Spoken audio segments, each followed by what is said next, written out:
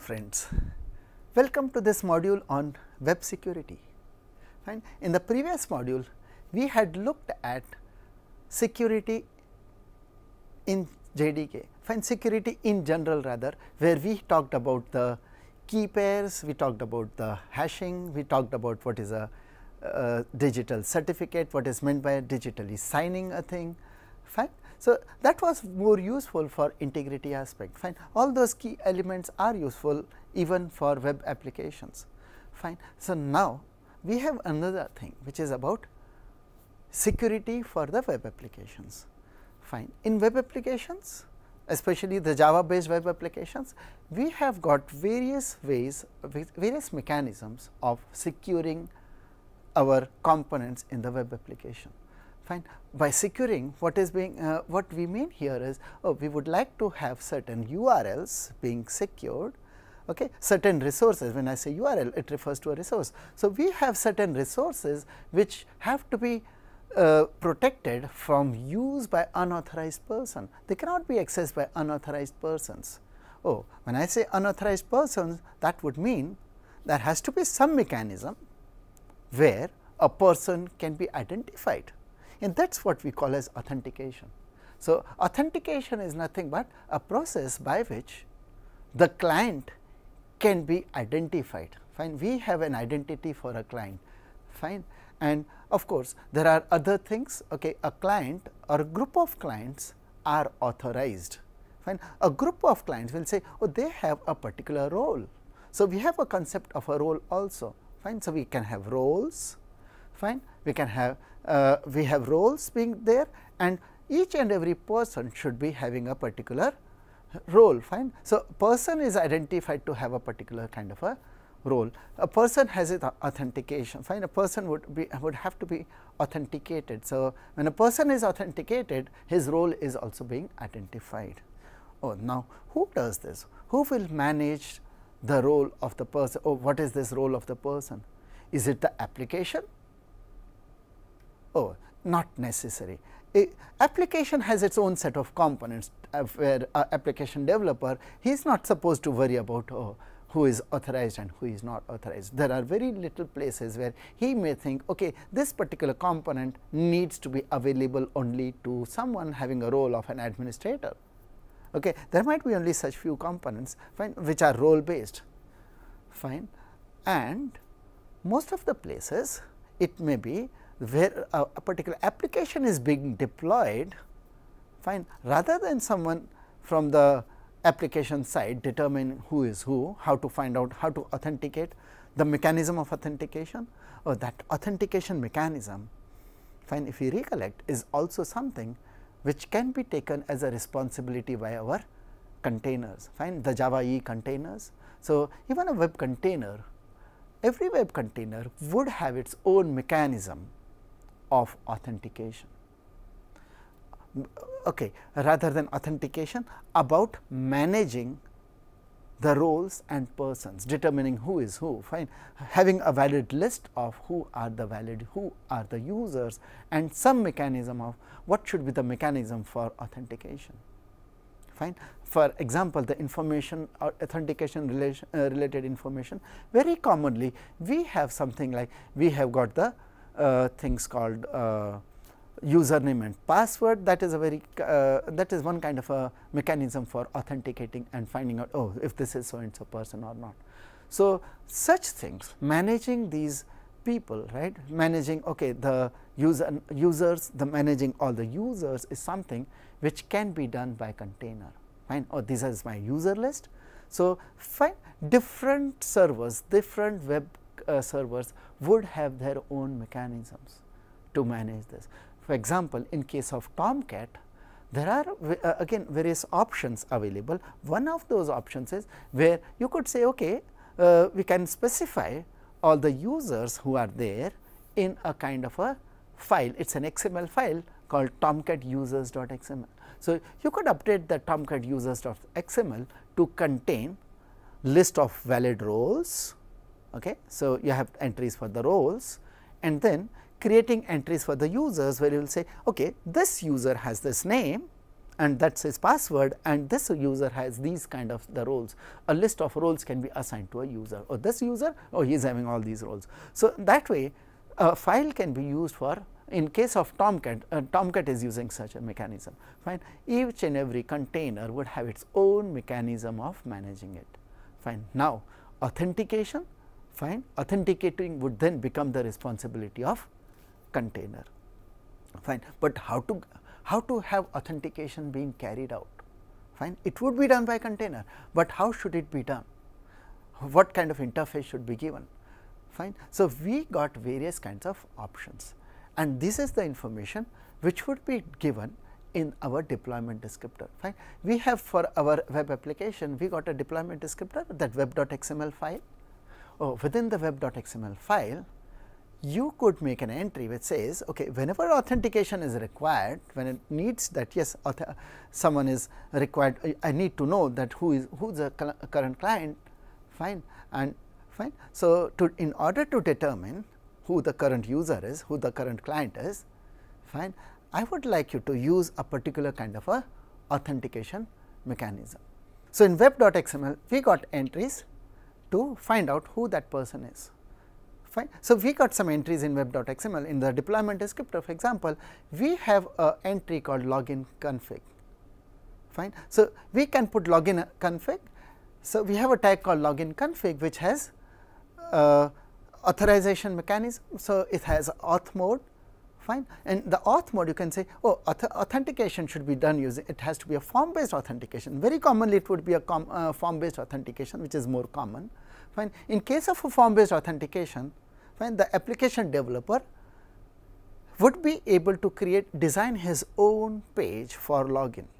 Fine. He is able to design his own page for login and he also has to design another page. In case the login fails he needs to have another page. So, these would be created as mostly as JSP files fine. So, there are some requirements which are there for this JSP file, but the kind of entry which goes in the web.xml uh, we have a login config fine auth mode and we will say form fine. The other auth modes for example, you can say basic. Now, if you say basic you do not have to do anything if you just say basic just give a realm name fine. If you are saying basic it is actually the browser which will pop up the which will pop up a small window asking for login ID and password, username and password. You do not have to design any form or anything, but if you have said auth mode is form, okay, in that case you need to also specify login form config. You have an inner uh, tag called login form config.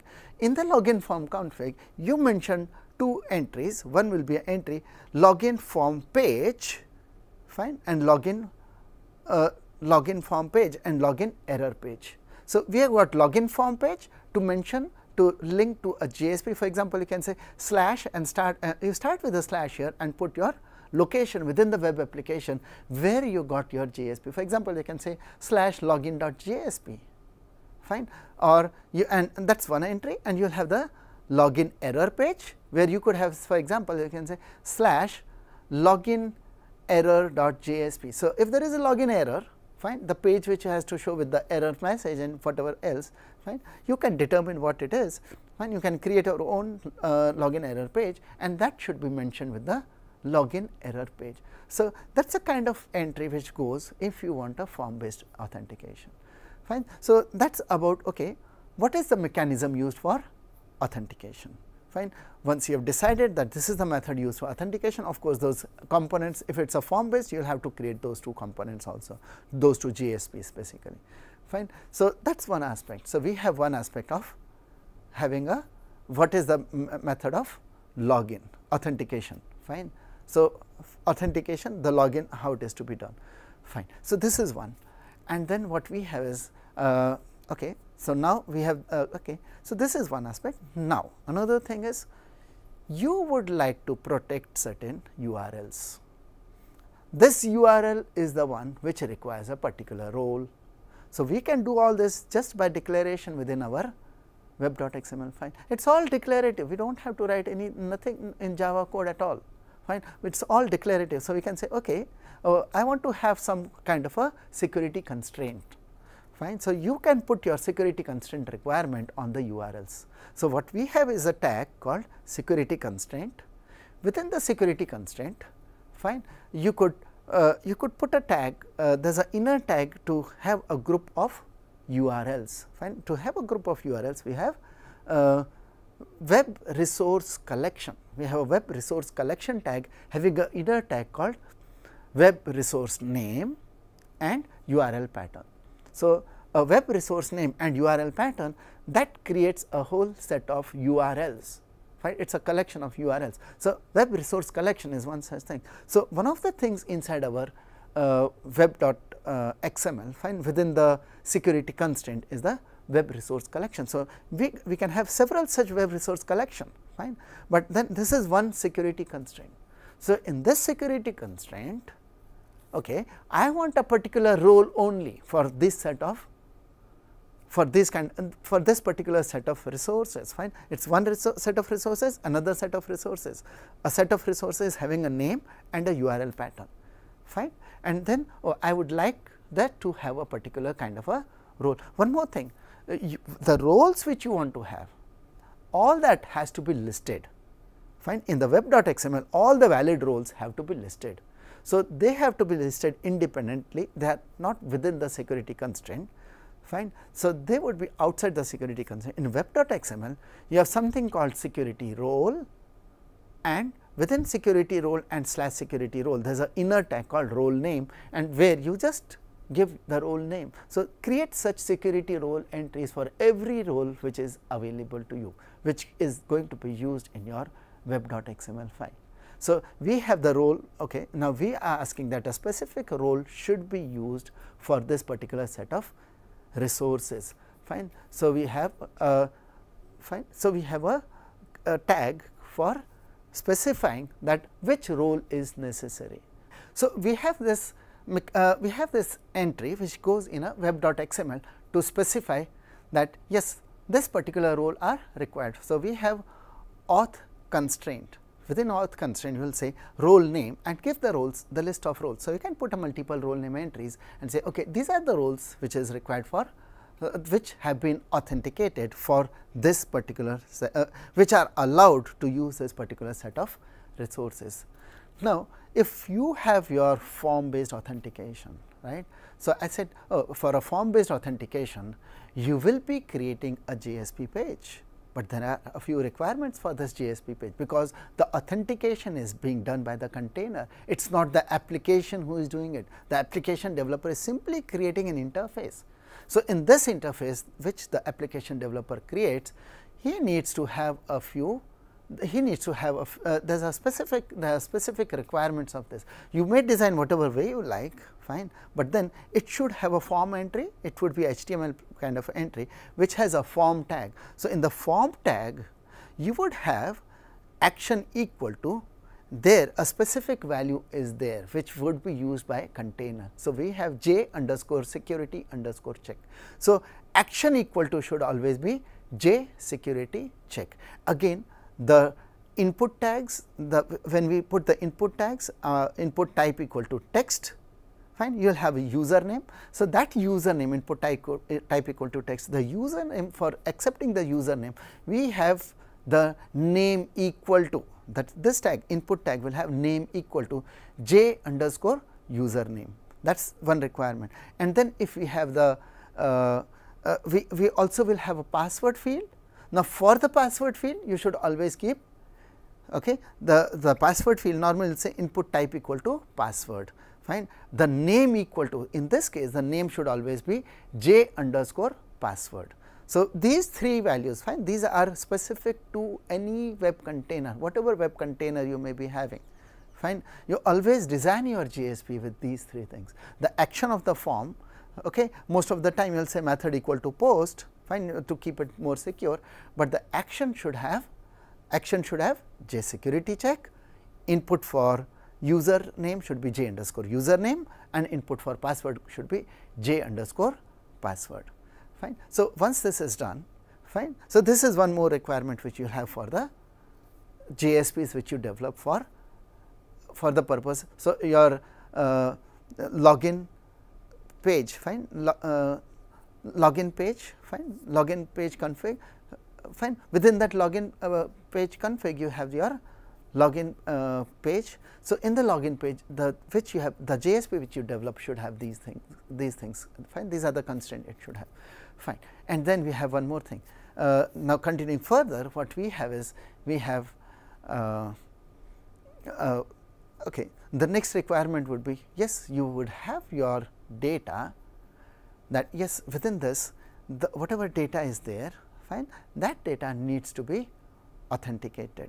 Uh, that need data many times yes you have certain set of URLs for which you would have that yes this particular data whatever the data part which is coming that content even in transit if someone catches hold of it should not be able to make out. I want that to be confidential fine. You have some https fine. You will have to enable the https things.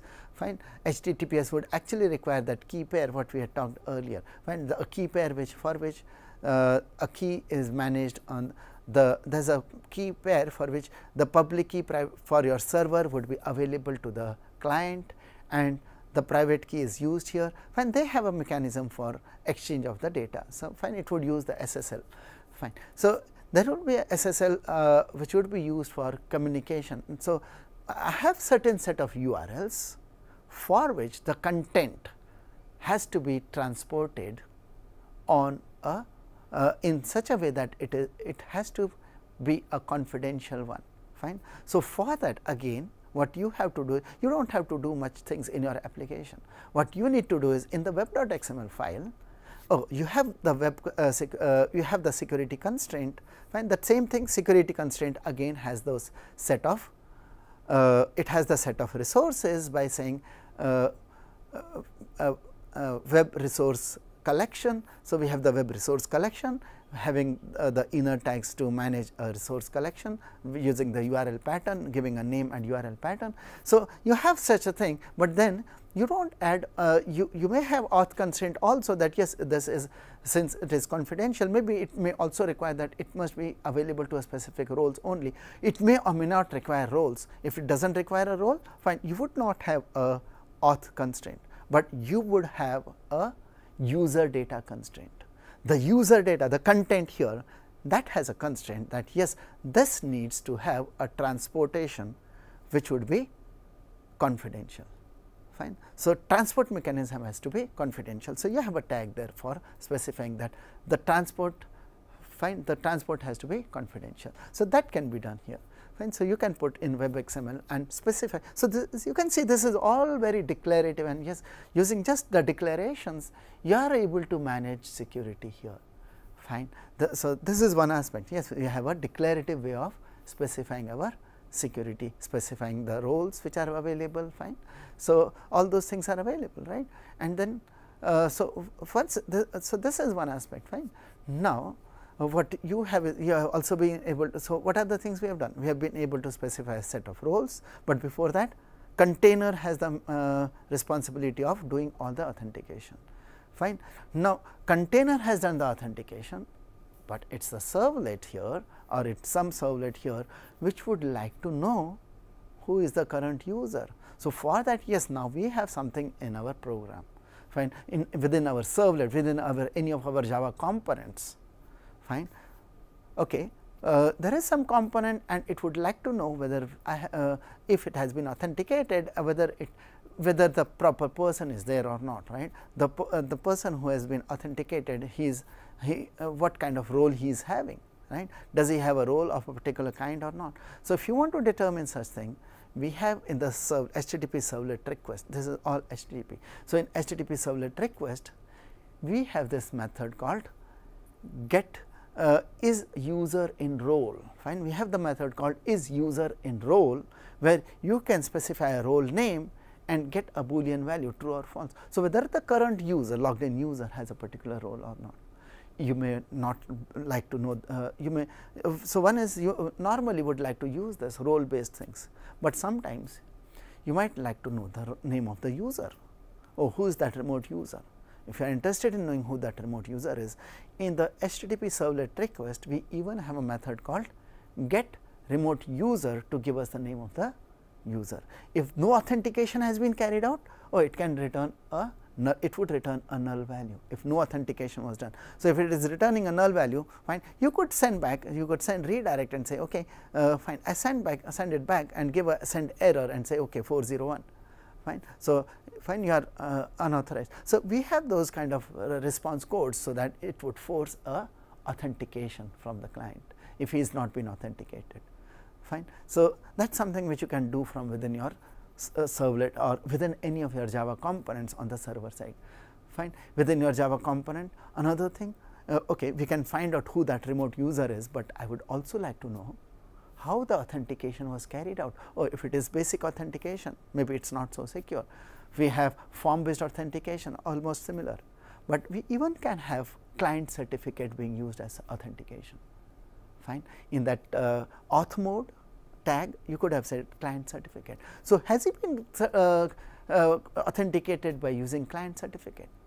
If he has been authenticated by using a client certificate or which, which kind of authentication was used fine. So, for that HTTP servlet request even has a method called get auth type which returns a string. So, that string would be saying okay it is basic or it is form, it is auth or it is a message digest fine which kind particular kind of authentication has been carried out that can always be determined by the application any Java component on the any uh, Java component on our server side. So, server has to do the uh, authentication and all that information from its servlet request is able to it is able to make it available to our Java components whosoever has the. So, so, mainly the servlet or even it could be even a JSP who is trying to use that information fine. So, this information is available plus uh, we have that get remote user method and there is an old earlier method also called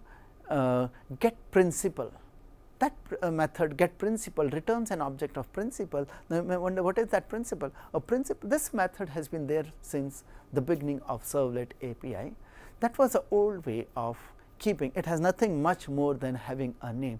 The, uh, this get principal returns principal which is uh, available in java.security package and the principal has nothing but a method called get name. So, it is just nothing much more than keeping a name only. So, it is almost equivalent of using a get remote user method fine. So, get remote fine these are some of the methods which we have available on our for our programmatic things. So, programmatically if you want to check anything yes we have Java components getting all these kind of methods for us fine and uh, Okay.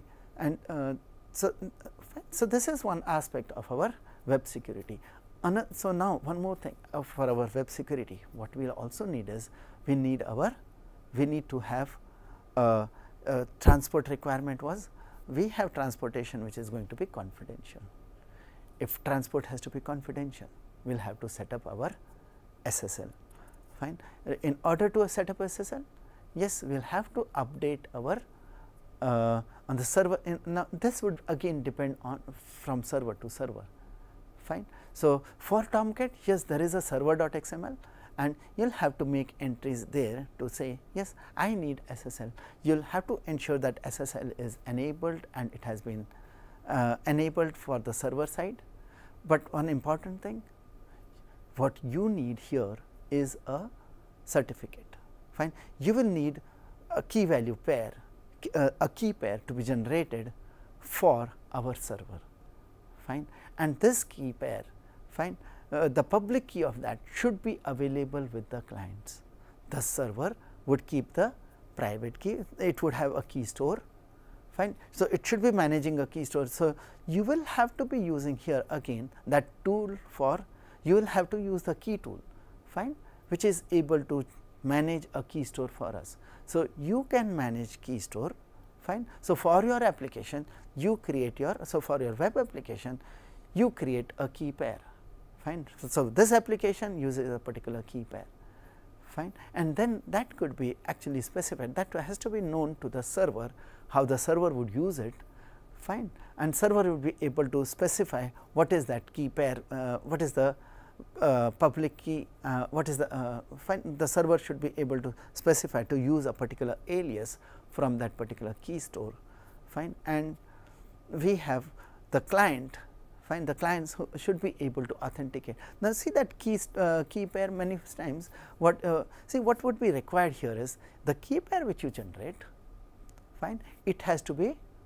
something which is endorsed fine the certificate which you use in your key store. So, your key store should normally have certificates which are available on the which are signed by authorized agencies fine? Because uh, the public keys the public keys only of the you have those certificates. Certificates are nothing but public keys. So, you got your certificates available globally fine? In most of the softwares it is available only for the certifying authorities fine. When we have a certificate being signed okay, these certifying authorities have their own self signed certificate that is one, but then there is actually a chain of certificates. If something is being signed a certifying authority has its own sub certifying authorities. That sub certifying authority sign, can also be signing you may be having a certificate which is not signed by the certifying authority directly, but by a sub certifying authority. So, if there is a sub certifying authority, the sub certifying uh, the certificate which you have is having actually a chain of certificates.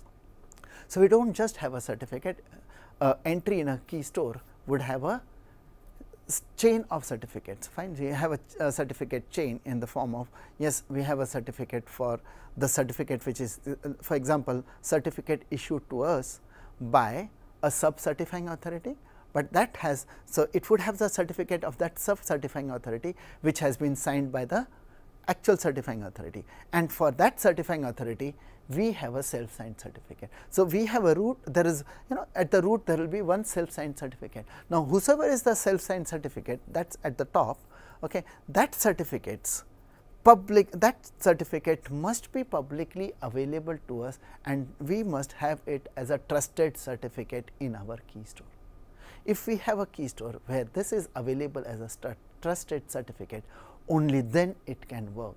So, you will have a lot of task here to set up a certificate fine because many times maybe you do not want to have the cost of having a self signed uh, having a certificate from a certifying authority because yes in order to maintain a certificate there is some annual recurring cost associated with the certificates available issued by those certifying authorities. So, instead of using those you may be interested in just generating your own key uh, just generating your own, your own uh, key pair fine. So, if you are generating your own key pair key tool can be used. And then in that case you have your own self signed certificate, but this public the public key should then you will have a task of distributing this self signed certificate even to all your clients. Otherwise they would not be able to fine. They will have to manage it within their browser. The browsers also manage their key stores fine. So this certificate will have to be managed in the browser. So, for that yes you will in the key store you, uh, in the key tool we have those commands for actually exporting a certificate also. If there is a key entry you can export a certificate out of your key store of out of any key store by using a key tool command. So, key tool minus export is available fine and on the other side if there is a key store being used by an application fine the application can use the key tool minus import fine to in order to add a, in order to add import certificate in order to add a certificate entry into his key store. So, key store management can be done by using that key tool fine. So, you will need a lot of those things if you are interested in having a SSL you will need to do a lot of exercise on that front also fine. So, fine. So, yes uh, security on website involves is quite uh, is, is it is quite involved if you are interested in SSL fine uh, in security on the transit. But if you are just interested in securing some URLs things are quite simple. There it's it's simple and can be done by just using our uh, declarations in the web.xml files. Fine we have the web.xml file having uh, those fine just uh, you are putting the security constraint. Fine you have a login uh, login constraint security con constraint. And you need to remember that you will be using a login uh, uh, we have the security role and mention all the logins which are available. Now, another point is you may have created certain servlets fine and these servlets have been created by someone else and you are just simply trying to use them. Those servlets also use a particular role. Now, when we have servlet using a specific role, okay, for that role, fine, the role which is used there may not be exactly the role which we have here in our current server. So, on server on our web server web container, the web container uses a particular set of roles which has been configured which it has been fine which has been configured, but we have on our server side we have our Java component which would like to use certain roles, but they have a different name they, they have an equivalent role here there may be a one to one role fine. So, if there is a one to one mapping someone says this is admin uh, on the other side on the, ser the servlet or the Java component which you are trying to use. Uh, so, you have mainly the servlet. So, on a servlet if which you are trying to use if you got a, the servlet is trying to use a role called manager whereas here there is a role within your uh, container the role is understood as admin. So, maybe here it is admin in the container, but that admin is same as manager for our servlet. Now, what do I do? Or do I recompile? I do not have the code for the servlet. I am interested in using that servlet component, but I, I do not have the code with me or do I recompile and ask everyone to deploy it again?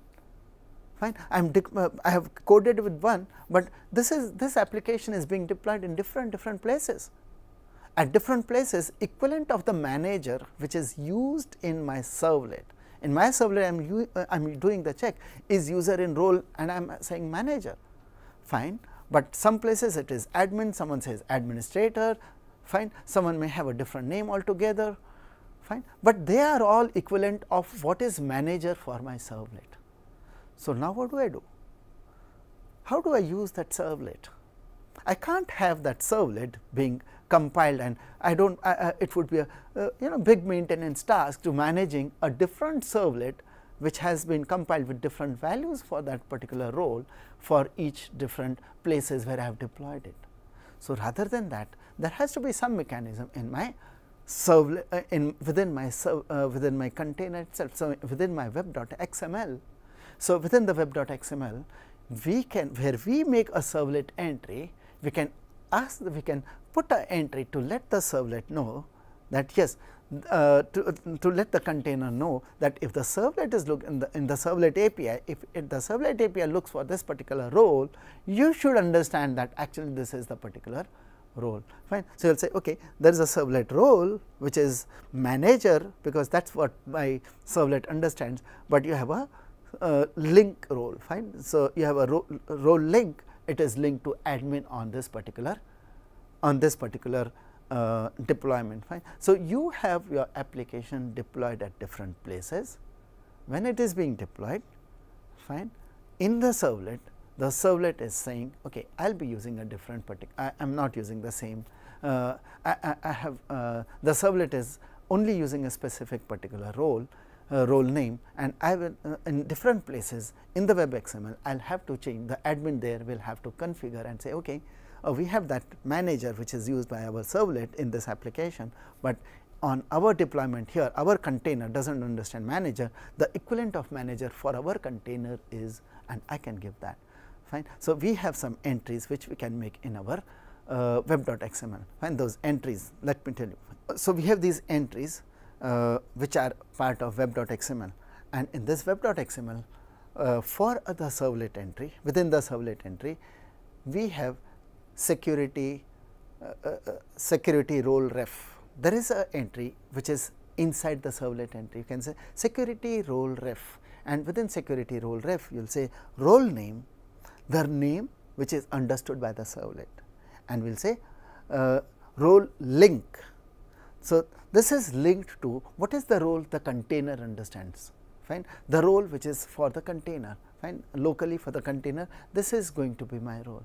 Fine. So, you can have this kind of a role being uh, role linking being done where the role names differ. Fine. So, this is something which you can that is a mechanism to have a servlet. Fine. So, you can deploy a web application even in different kinds of mechanism. And see this is all very declarative, very simplified fine. It is only when you have to go for a uh, you know for SSL your requirement of SSL that is where some more task will have to be done. Otherwise, most of the things are managed just by using declarative security. It is fine just a declarative things fine. Okay, fine. So, that is what we have in this module. Thank you. Thank you. Thank you. Thank you. Thank you.